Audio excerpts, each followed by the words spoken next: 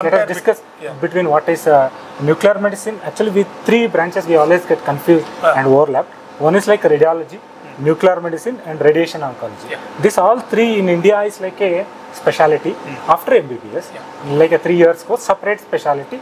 They have got separate roles. Uh, In uh, radiology, we have ultrasound, CT, MRI, like that. In nuclear medicine, we have uh, PET CT and gamma camera. And in uh, radiation oncology, they have machines to deliver the radiation. Uh, radiology is purely diagnostic branch, apart from intervention Yeah. radiology.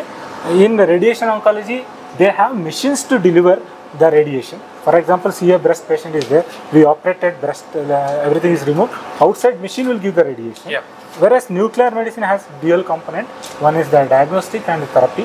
What uh, diagnostic we do the PET scan regularly, all these things. It is similar to radi- uh, radio- radiology, but we use the radio tracer.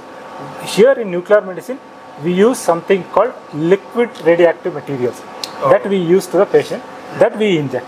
Okay. We inject to the patient and do the scan. Iodine we give orally, but all other things we most of the time we inject. Therefore, it is like uh, uh, we treat similar to radiation oncology, but how we treat it is not through machine. It is through using the liquid radioactive material that we inject to the patient. Uh, we diagnose similar to uh, Okay. radiology using the PET scanners.